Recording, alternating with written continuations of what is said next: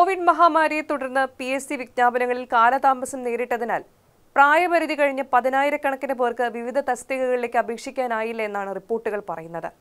രണ്ടായിരത്തി ഇരുപത്തിമൂന്ന് November December മാസങ്ങളിൽ പുറത്തിറങ്ങിയ L D C L G S secretariat O A ഉൾപ്പെടെ നൂറ്റി അറുപതിലധികം തസ്തികകളിലേക്ക് അപേക്ഷിക്കാനുള്ള അവസരമാണ് നഷ്ടമായത്.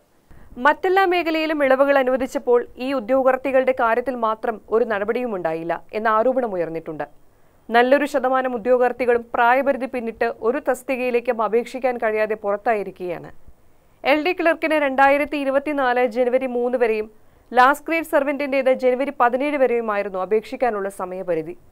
അതേസമയം കോവിഡിനെ തുടർന്ന് പ്രായപരിധി കഴിഞ്ഞ് അവസരം നഷ്ടപ്പെട്ട ഉദ്യോഗാർത്ഥികൾക്ക് നാഗാലാൻഡ് മഹാരാഷ്ട്ര രാജസ്ഥാൻ മധ്യപ്രദേശ് സംസ്ഥാനങ്ങളും കേന്ദ്രഭരണ പ്രദേശമായ പോണ്ടിച്ചേരിയും ഇളവ് നൽകിയിട്ടുണ്ട്. രാജസ്ഥാൻ നാല് വർഷവും നാഗാലാൻഡ് രണ്ട് വർഷവുമാണ് പ്രായപരിധിയിൽ ഇളവ് പ്രഖ്യാപിച്ചത്. മധ്യപ്രദേശ് സർക്കാർ മൂന്ന് വർഷത്തെ ഇളവ് പ്രഖ്യാപിച്ചപ്പോൾ മഹാരാഷ്ട്രയും പോണ്ടിച്ചേരിയും രണ്ട് വർഷം ഇളവ് നൽകി. സ്റ്റാഫ് സെലക്ഷൻ കമ്മീഷനും റെയിൽവേ റിക്രൂട്ട്മെന്റ് ബോർഡും മൂന്ന് വർഷത്തെ വയസ്സിളവ് പ്രഖ്യാപിച്ചിട്ടുണ്ട്. ഈ സാഹചര്യത്തിൽ ഒറ്റത്തവണ വയസ്സിളവ് നൽകണമെന്നാണ് ഉദ്യോഗാർത്ഥികൾ ആവശ്യപ്പെടുന്നത്.